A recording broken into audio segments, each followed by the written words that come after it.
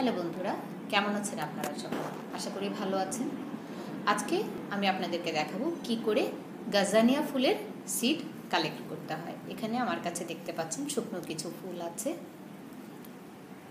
এই ভিডিওটি বেসিক্যালি একটি রিকোয়েস্টেড ভিডিও আমাদের এক আপু ইনকোয়ারি ছিল, গাজানিয়া ফুলের সিড কী করে কালেক্ট করা যায়?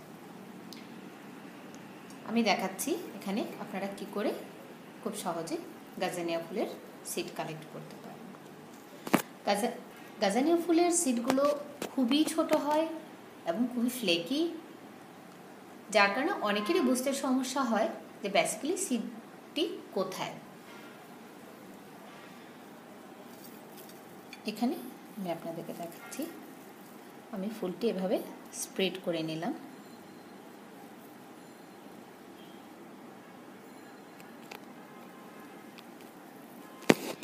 এখানে আমার হাতে আপনারা তুলোর আশের মতো কিছু অংশ দেখতে পাচ্ছেন।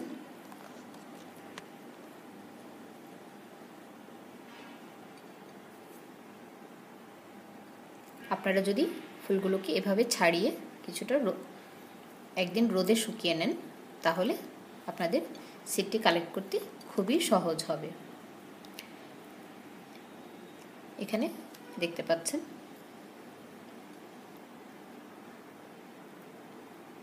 আমি কিছু অংশ এভাবে ছাড়িয়ে নিচ্ছি। শুধু তুলোর মতো যে অংশটি, সে অংশটি আমি নিয়ে নিচ্ছি। দেখতে পাচ্ছেন বন্ধুরা? গাজানিয়া ফুলের সিটটি কিন্তু এখানেই লুকানো থাকে। ভেতরে যে কালো অংশটুকু দেখতে পাচ্ছেন এটিই হচ্ছে গাজানিয়া ফুলের সিড আমি আপনাদেরকে আরও একটু বৃষ্টি স্প্রেড করে দেখাচ্ছি। কিন্তু আপনাদের কিন্তু সিড কালেক্ট করার জন্য এভাবে করার প্রয়োজন নেই। সরাসরি রোদে শুকিয়ে আপনারা সিডগুলো সংরক্ষণ করতে পারেন। আমি শুধু আপনাদেরকে বোঝানোর সুবিধার্থে সিটটি ওপেন করে নিলাম।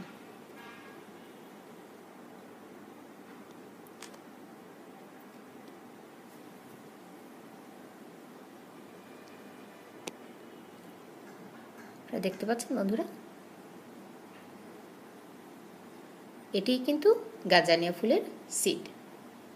তো সুতরাং আপনারা দেখলেন কি করে গাজানিয়া ফুলের সিড আপনারা সংগ্রহ করবেন। আমি আপনাদের বীজটি খুব খুলে দেখালাম।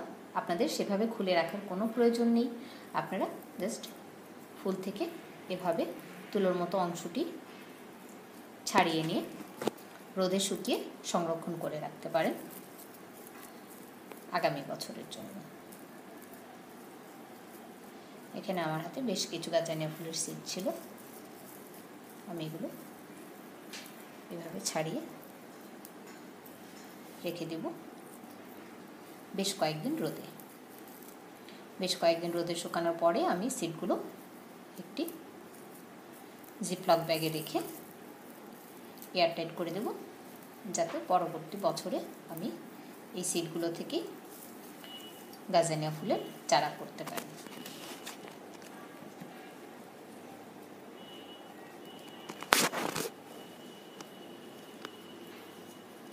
তো বন্ধুরা, দেখতে পাচ্ছেন আমার বীজগুলো নেওয়া হয়ে গেছে।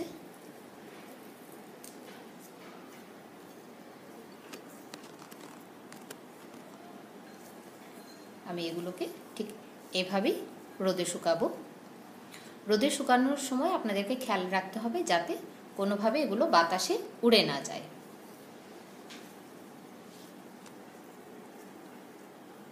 আপনারা এমন জায়গায় শুকাতে দেবেন যেখানে সচরাচর বাতাস কম থাকে। তাতে করে আপনাদের সিটগুলো উড়ে যাবে। না তো বন্ধুরা, আশা করি ভিডিওটি আপনাদের হেল্প করবে। ভালো থাকুন সবাই। আল্লাহ হাফিজ।